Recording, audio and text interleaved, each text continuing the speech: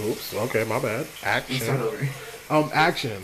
You can edit this shit. Hello there, boys and girls. Welcome to Sunshine Land. On today's episode, we are going to learn how to take a shower for all of you people that smell out there.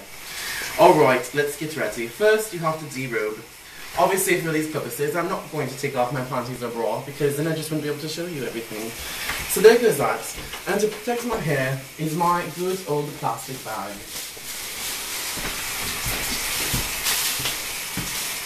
Oh my. Maybe.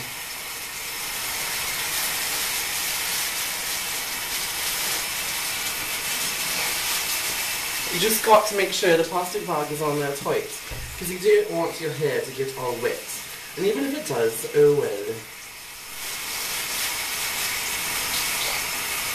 There we go. Now my plastic bag is on. Time for the shower. Ooh, it's nice and warm. Alright, well, first off, if you're on a quick hurry, the good thing to do is just wet yourself all over, like so. I don't want to make a total mess, but you just want to wet yourself. Yes, I'm getting everything wet. Nice and nice, nice and wet. Then you want to get your loofah. Take the loofah. It is all nice and wet here. Make sure you get some shower gel up there. For those of you don't know how to do this, you have to lather your shower gel. Lather, lather, lather your shower gel very well. Alright, that's good enough for the time being. So, the key important areas is to remember is your crotch, because that gets really smelly. So you've got to do that. You've got to do the pits. Very, very important for those that have BO. Um, if you have boobs or non-boobs, like some people, as we know, you may want to make sure you get that. And most importantly, you want to make sure you get the, you know, the bottom. Because some people, you have to do it because, you know, well, if you're gay, well, enough said. You don't want a smelly ass. You just have to get your whole body, arms, legs, feet. Obviously, I'm not going to take a full shower for you because if you don't know to take a shower by now and you're watching this video, then we have major issues, don't we?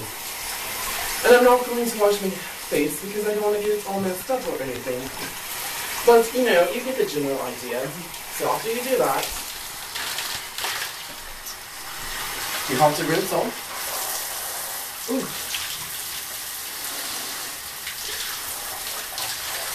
You rinse off, rinse off all the excess soap. Don't God. Might as well take off the plastic bag. And now, your shower is complete. And now you want to towel off. Make sure everything is toweled. Step out of the shower. And that, ladies and gentlemen, is how you take a shower. So next time on Sunshine Land, learn how to turn on a lamp. Until then, please rate, subscribe, and